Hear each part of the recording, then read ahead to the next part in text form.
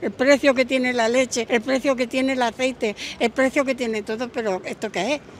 ¿Esto qué es? ¿La gente qué pasa? ¿Que no come? Hemos ido a hacer la compra, entonces, viendo más o menos esta cesta, ¿cuánto crees que ha costado? ¿90 euros, 78 o 45?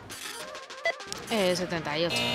90 euros. Pues yo creo que 78, pero vamos, no tengo ni idea. Casi 90.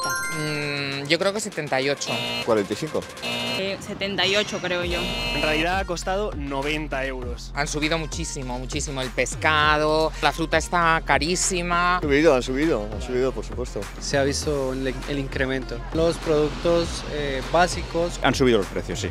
Han subido, se nota un montón. Es de miedo. Podemos desde el gobierno está intentando bajar un poco ese precio de la compra, más o menos un 14%. ¿Y usted vería bien, por ejemplo, bajar el precio de la compra un 14% o cree que sería mejor pedirle por favor a los supermercados que lo bajaran? Todo lo que se pida, por favor, a los supermercados, mm, ellos están para ganar dinero y por favor no creo que lo hagan. A los supermercados ellos no te dan razón ninguna. ¿No vio ayer de Mercadona?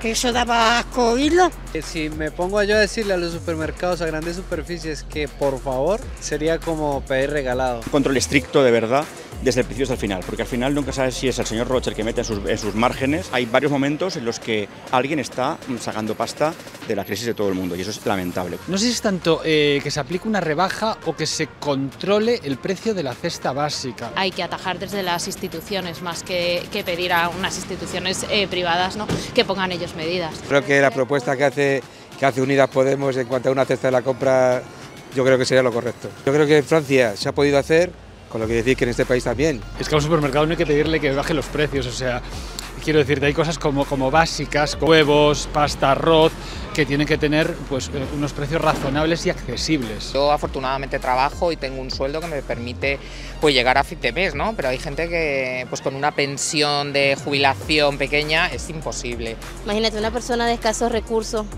si no tiene ninguna entrada, ¿cómo hace para comprar una compra mínima? Porque esto es algo mínimo, con 90 euros. Pero las personas que tengan tres y cuatro niños, el precio que tiene la leche, el precio que tiene el aceite, el precio que tiene todo, pero ¿esto qué es? ¿Esto qué es? ¿La gente qué pasa? ¿Que no come? Y quien más tenga pasta, pues oye, que no le llegue este tipo de ayuda, sino que sigue tender para la gente más necesitada. Con un alimento básico no puedes hacer negocio, estamos hablando de- del- del sustento, es igual que, que la sanidad, que la educación, hay cosas con las que no puedes hacer negocio.